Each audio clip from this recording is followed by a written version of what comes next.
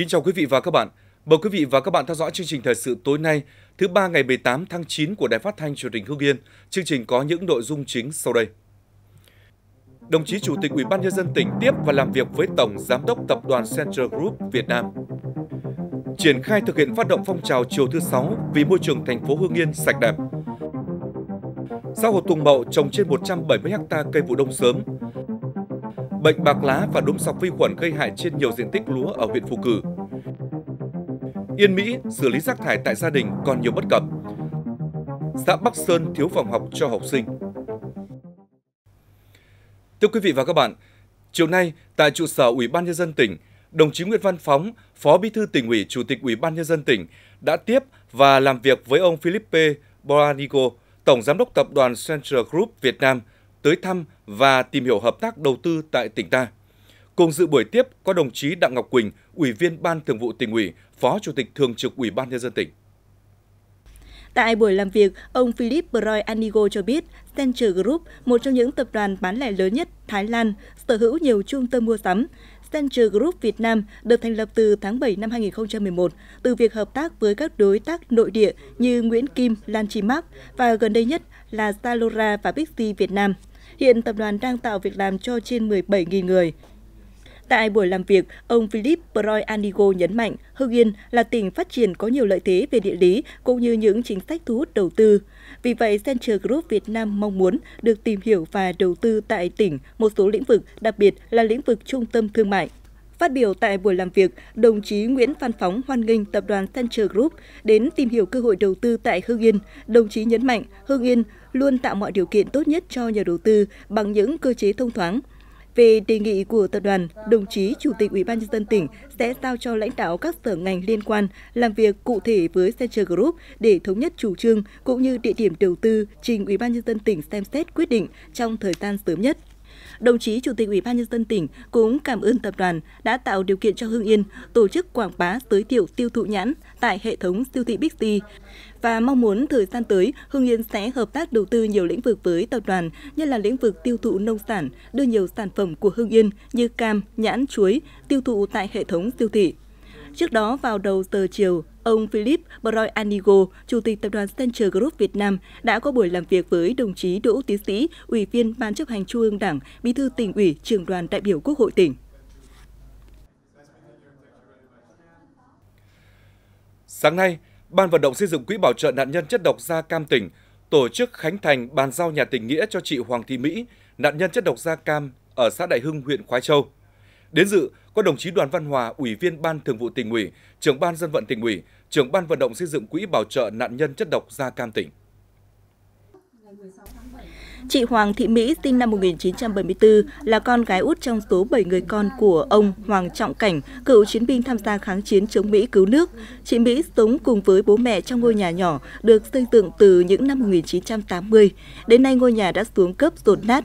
Ban vận động xây dựng quỹ bảo trợ nạn nhân chất độc da cam tỉnh đã tổ chức khảo sát nắm tình hình thực tế, nhu cầu của gia đình chị Mỹ và quyết định hỗ trợ kinh phí xây nhà ở cho gia đình chị. Sau hơn một tháng khẩn trương thi công, công trình đã được hoàn tất với diện tích sử dụng trên 50 m2 với tổng trị giá trên 100 triệu đồng. Trong đó, Quỹ bảo trợ nạn nhân chất độc Sa cam tỉnh hỗ trợ 40 triệu đồng, phần còn lại là gia đình, anh em họ hàng đóng góp. Chiều ngày 17 tháng 9, Thường trực Ban chỉ đạo chương trình 10 thành phố tổ chức cuộc họp triển khai thực hiện phát động phong trào chiều thứ 6 vì môi trường thành phố Hương Yên sạch đẹp đồng chí Tạ Hồng Quảng, Ủy viên Ban Thường vụ Tỉnh ủy, Bí thư Thành ủy, Chủ tịch Hội đồng nhân dân thành phố dự và chủ trì cuộc họp. Phát biểu tại cuộc họp, đồng chí Bí thư Thành ủy nhấn mạnh, thời gian qua, ý thức giữ gìn vệ sinh môi trường của không ít các hộ dân trên địa bàn thành phố còn rất hạn chế. Chính điều này đã khiến cho cảnh quan môi trường, đặc biệt là tại các tuyến đường trung tâm, các công viên, vườn hoa, các khu vực công cộng trên địa bàn thành phố luôn trong tình trạng nhếch nhác, ảnh hưởng rất lớn tới vấn đề vệ sinh môi trường cũng như cảnh quan đô thị để việc triển khai thực hiện phong trào chiều thứ sáu vì môi trường thành phố Hưng Yên sạch đẹp đạt kết quả và đi vào nền nếp ổn định. Đồng chí Bí thư Thành ủy yêu cầu các địa phương cần phát huy tốt vai trò cũng như tự vào cuộc tích cực của các cấp ủy tri bộ, các hội đoàn thể ở các thôn, khu phố, cụm dân cư trong việc tuyên truyền vận động nhân dân thực hiện Trong đó trước mắt cần khẩn trương triển khai được các nghị quyết chuyên đề, lựa chọn các địa bàn, khu vực trọng tâm để triển khai thực hiện phong trào làm sao đạt hiệu quả cao nhất. Trong hai ngày 17 và 18 tháng 9, Sở Thông tin Truyền thông tỉnh tổ chức diễn tập Quốc phòng an ninh năm 2018. Dự cuộc diễn tập có đồng chí Nguyễn Minh Quang, Phó Chủ tịch Ủy ban Nhân dân tỉnh. Nội dung diễn tập bao gồm 3 giai đoạn, chuyển hoạt động của ngành thông tin và truyền thông từ trạng thái thường xuyên lên trạng thái khẩn cấp về quốc phòng an ninh, chuyển hoạt động của ngành thông tin và truyền thông từ thời bình sang thời chiến, thực hành xử lý tình huống về thông tin liên lạc. Thứ tự, các bước trong chuyển trạng thái sẵn sàng chiến đấu được thực hiện theo đúng nguyên tắc, trình tự các bước. Phần thực binh xử lý các tình huống về thông tin liên lạc được triển khai thực tế, kết hợp xử lý các tình huống trên bản đồ do làm tốt công tác chuẩn bị nên cuộc diễn tập đã thành công tốt đẹp, đạt được mục đích đề ra, góp phần nâng cao trình độ nhận thức, năng lực lãnh đạo và xử lý tình huống của lãnh đạo sở và các đơn vị trực thuộc. Kết thúc diễn tập, đồng chí Nguyễn Minh Quang đã trao tặng bằng khen của Chủ tịch Ủy ban nhân dân tỉnh cho hai tập thể và hai cá nhân có thành tích xuất sắc.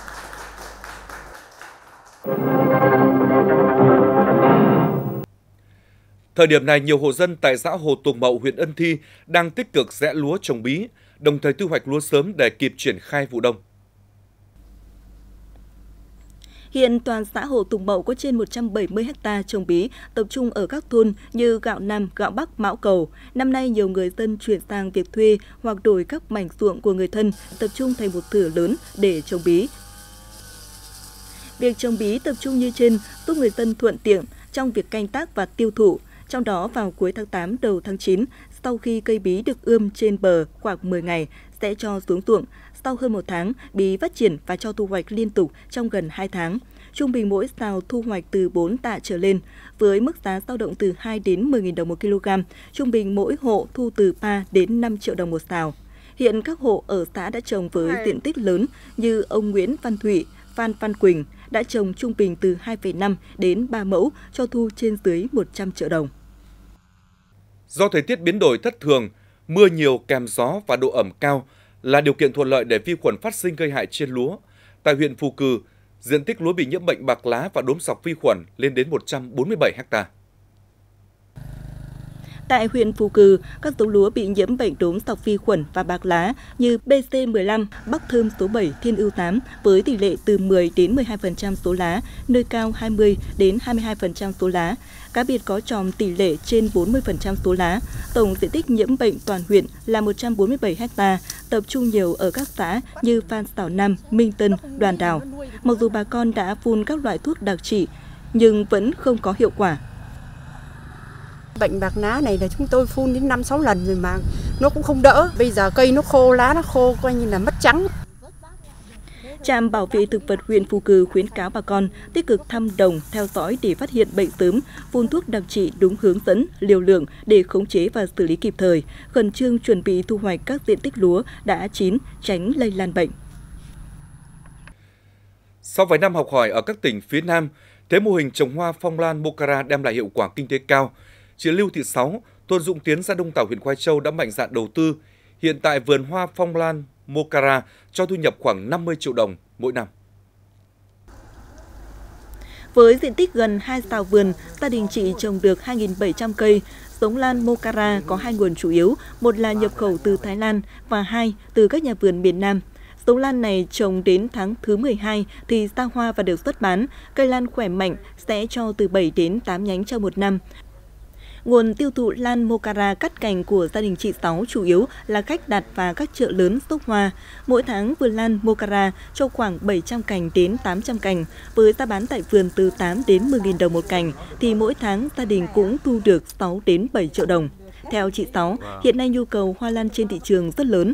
Nếu trồng chăm sóc hoa lan đúng kỹ thuật, tỷ lệ ra hoa và chất lượng tốt thì không đủ hàng để bán với mức thu nhập hơn nhiều lần so với trồng các loại cây khác, nghề trồng hoa lan cắt cành hiện nay đã và đang trở thành xu hướng mới trong phát triển kinh tế nông nghiệp, đem lại thu nhập cao cho người nông dân. Thực trạng ô nhiễm môi trường do lượng rác thải sinh hoạt đổ ra môi trường lớn hơn rất nhiều so với lượng rác được xử lý ở Yên Mỹ, thì việc phân loại xử lý rác thải tại các hộ gia đình lại chưa thực sự tốt. Đến nay, huyện Yên Mỹ đã cấp phát cho 14 trên 17 xã thị trấn, tổng số hơn 3.500 thùng và 100 nắp đậy xử lý rác thải tại gia đình. Đầu năm nay, huyện Yên Mỹ đã cấp phát 170 thùng xử lý rác thải cho các hộ dân ở thôn Trai Trang và thôn Đồng La. Sau hơn nửa năm áp dụng, số hộ sử dụng đạt chưa tới 30%. Nhiều gia đình nhận nhưng không hề sử dụng. Bây giờ cứ đi làm suốt, tối về 8 9 giờ hay là 7 8 giờ tối bắt đầu mới đi làm về. Bây giờ nhặt cái rau cái cỏ là tiện trò từ bóng thì là trò thùng rác. Từ năm 2016 đến hết tháng 4 năm nay, huyện Yên Mỹ vận chuyển và đưa đi xử lý hơn 33.000 tấn rác thải, xử lý tại chỗ được hơn 15.000 tấn, xây dựng thêm 14 điểm tập kết rác thải. Tuy nhiên, tình trạng quá tải ở các điểm tập kết rác vẫn diễn ra thường xuyên. Cùng với đó là các bãi rác tự phát mọc lên, qua thực tế cho thấy, sử dụng thùng xử lý rác thải tại hộ gia đình rất hiệu quả. Nhiều gia đình giảm được từ 50 đến 70% lượng rác thải ra môi trường, nhưng không phải hộ nào được cấp phát, cũng sử dụng đúng cách để phát huy hiệu quả của nó. Đến nay, huyện Yên Bí đã cấp phát cho 14 trên 17 xã thị trấn, tổng số hơn 3.500 thùng và 100 nắp đậy xử lý rác thải tại gia đình. Tuy nhiên, số được sử dụng hiệu quả lại chiếm quá ít. Cứ hàng ngày cho thùng cho vào cái thùng rác ấy và cái chế phẩm sinh học của chúng tôi pha ra một cái uh, bình nước. Thế cứ cho rác vào là cầm lên xịt xịt mấy cái vào đấy. Thế là nó cứ phân hủy xuống dần dần dần dần rồi nó tiêu dần xuống. Lượng rác thì giảm tới 70% cái lượng rác thải như vậy, để các hộ dân hiểu được ý nghĩa quan trọng của việc xử lý rác thải tại hộ gia đình, góp phần bảo vệ môi trường, các địa phương cần tăng cường tuyên truyền để người dân hiểu, thực hiện xử lý phân loại rác đúng, hiệu quả. Thời gian qua, huyện Quái Châu đã quan tâm quy hoạch và đầu tư hàng chục điểm tập kết rác thải cho các xã nhằm đảm bảo vệ sinh môi trường. Thế nhưng, trong việc thu gom rác tại các điểm này vẫn còn nhiều bất cập. Cụ thể trên tuyến đường 377 từ ngã ba xã Ông Đình đi Đông Tảo có đặt điểm thu gom rác thải của xã Tân Dân sát với xã Dạ Trạch.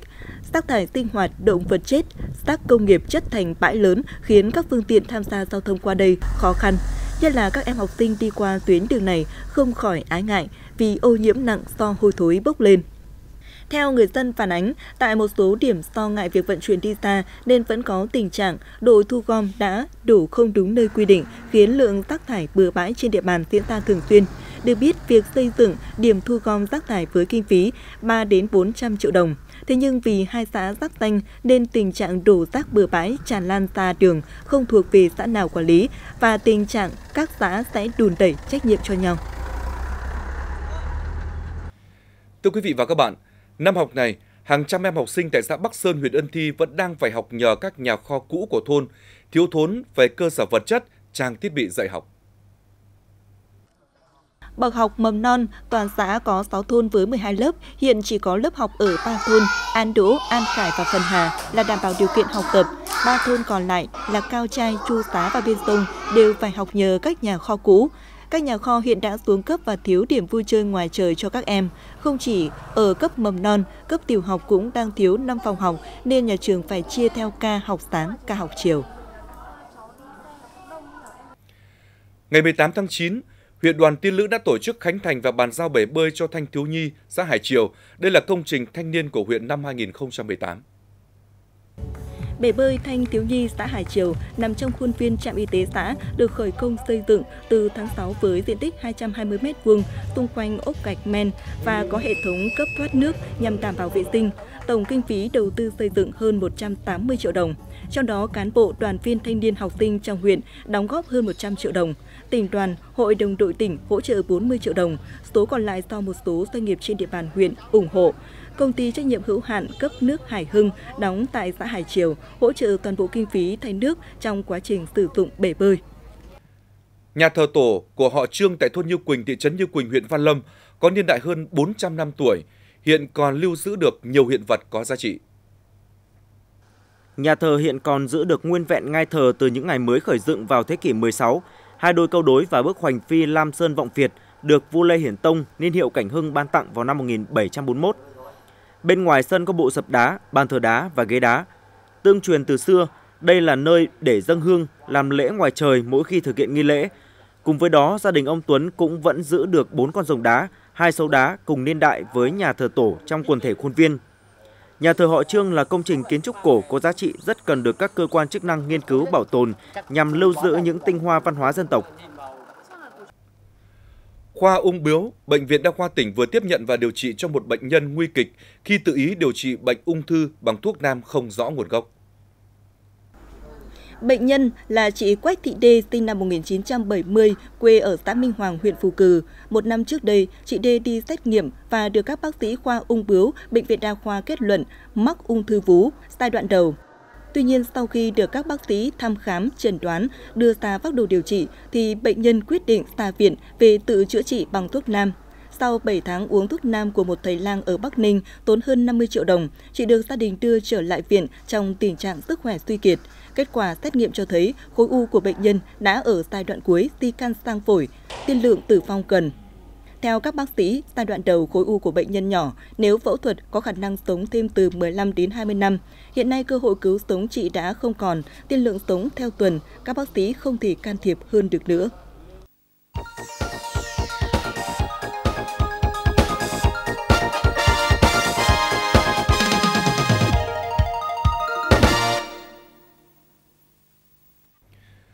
Thưa quý vị và bà con, mặc dù đã được cảnh báo nhiều lần về hậu quả của việc vứt vỏ thuốc bảo vệ thực vật không đúng nơi quy định, song đến nay do sự thiếu ý thức của bà con nông dân, tại cánh đồng thôn An Xá xã Toàn Thắng huyện Kim Động vẫn còn tồn tại tình trạng trên. Hiện đang là thời điểm bà con nông dân tập trung phun phòng trừ các loại sâu bệnh hại lúa, song do không được tuyên truyền, nhắc nhở hoặc do sự thiếu ý thức bảo vệ môi trường, nên nhiều bà con nông dân sau khi phun thuốc trừ sâu xong thì bạ đâu vứt đó. Điển hình như tại cánh đồng lúa thuộc thôn An Xá, xã Toàn Thắng, huyện Kim Động, vỏ thuốc bảo vệ thực vật được vứt tràn lan ra bờ ruộng kênh mương. Điều này gây ảnh hưởng trực tiếp đến sức khỏe của chính bà con nông dân, hủy hoại môi trường sống và tiêu diệt các sinh vật có lợi. Từ cuối năm 2017 đến nay, dịch tả lợn châu Phi đã lây lan ra 17 quốc gia, với tổng số lợn buộc phải tiêu hủy là trên 500.000 con. Để chủ động phòng chống ngăn chặn dịch tả xâm nhiễm vào nước ta, ngành chuyên môn cần tập trung hướng dẫn người chăn nuôi các biện pháp phòng chống. Dịch tả lợn châu Phi là bệnh không lây nhiễm và gây bệnh ở người. Tuy nhiên, đây lại là bệnh truyền nhiễm nguy hiểm do virus gây ra, lây lan chủ yếu do các yếu tố của con người tác động như việc vận chuyển lợn và các sản phẩm bệnh nghi mắc bệnh từ nơi này sang nơi khác. Virus bệnh dịch tả châu Phi có thể gây chết ở lợn với tỷ lệ rất cao so với những bệnh khác như lở mồm long móng, dịch tả lợn cổ truyền và hiện chưa có vaccine thuốc điều trị được bệnh. Để ngăn chặn dịch bệnh, các ngành chuyên môn, đơn vị liên quan cần tăng cường kiểm soát vận chuyển lợn và các sản phẩm của lợn.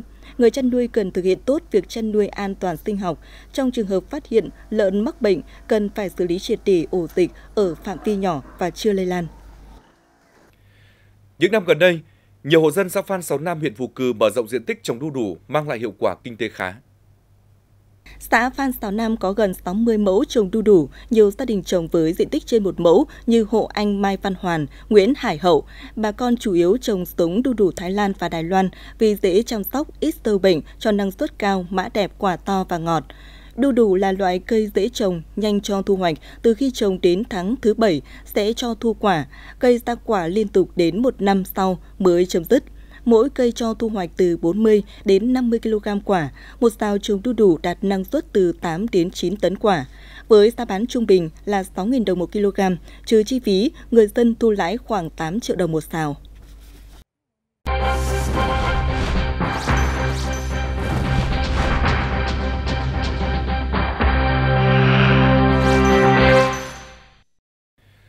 Thời điểm hiện tại, Phần lớn diện tích lúa mùa trên địa bàn tỉnh ta đang trong giai đoạn chỗ bông đông sữa chắc xanh. Tuy nhiên, do diễn biến bất thường của thời tiết thời gian vừa qua như nắng nóng kèm theo mưa rông là điều kiện để nhiều loại sâu bệnh gây hại lúa phát sinh, phát triển. Theo thông báo của Tri Cục Bảo vệ Thực vật tỉnh, hiện tấy nâu, tấy lưng trắng xuất hiện và gây hại trên các trà lúa, mật độ phổ biến từ 500 đến 700 con một mét vuông, cá biệt có ruộng 5.000 con một mét vuông sâu đục bướm 2 chấm, sâu non gây hại giải rác trên diện tích lúa chỗ trước ngày 10 tháng 9 năm 2018. Sâu cuốn lá nhỏ, lứa 5 gây hại cục bộ, nơi cao 30 đến 50 con một mét vuông. Bệnh bạc lá và đốm sọc vi khuẩn tiếp tục phát sinh và gây hại gia tăng trên một số số nhiễm, tỷ lệ hại nơi cao từ 7 đến 10% số lá. Bệnh khô vằn phát sinh và gây hại gia tăng, tỷ lệ hại nơi cao từ 7 đến 10% số rảnh. Trước diễn biến phức tạp của sâu bệnh gây hại trên diện tích lúa mùa, bà con nông dân trên địa bàn tỉnh ta đang tăng cường các biện pháp phòng trừ. Tôi ngại nhất là sâu quân ná mới sâu đục thân mới lại dày. Các đối tượng sâu bệnh trên có chiều hướng phát sinh và lây lan mạnh, nhất là ở trong điều kiện thời tiết có mưa bão, độ ẩm cao. Nếu nhiễm nặng, các đối tượng sâu bệnh này có thể gây cháy tẩy, giảm năng suất lúa nếu không được phòng trừ kịp thời. Đây là cái thời kỳ có thể nói là cực kỳ quan trọng để chúng ta có thể bảo vệ năng suất à, lao động của cả một cái vụ. Trong giai đoạn hiện nay thì bà con chúng ta lưu tâm rằng à, đối với cái dày nâu ở giai đoạn này thì bà con chúng ta có kinh nghiệm mà sử dụng thuốc chết 50 VKG thì lưu ý bà con là thuốc chết 50 VKG có tác dụng hiệu lực cao và kéo dài ở cái giai đoạn mà cây lúa nó còn còn cái khả năng mà lưu dẫn. Chỉ sử dụng thuốc chết 50 VKG ở cái thời điểm mà từ khi mà lúa thấp cho chỗ đến khi mà cây lúa nó, nó chắc xanh. Và để cái phòng trừ cái bệnh à, lem thép hạt mà à, xác định rõ cái nguyên nhân là do nấm thì bà con chúng ta sử dụng cái tin super 300 EC. Đây là một cái loại thuốc mà có thể nói là thương hiệu số 1 của Syngenta rồi, là một cái sản phẩm mà à, mà mà gần như hầu hết bà con chúng ta đều đều biết và đều sử dụng ở cái giai đoạn mà lúa lúa, lúa trỗ để giúp cho bông lúa là vàng sáng chắc và năng suất. Bên cạnh các biện pháp trên để bảo vệ cây lúa, hạn chế ảnh hưởng của sâu bệnh gây ra, ngoài chú ý thực hiện các biện pháp hướng dẫn của trạm bảo vệ thực vật các huyện thành phố, bà con nông dân cần tích cực theo dõi thông báo tình hình sâu bệnh hại trên các phương tiện thông tin đại chúng, thường xuyên thăm đồng để phát hiện sớm các đối tượng gây hại trên diện tích của gia đình để có biện pháp phòng trừ kịp thời, hiệu quả.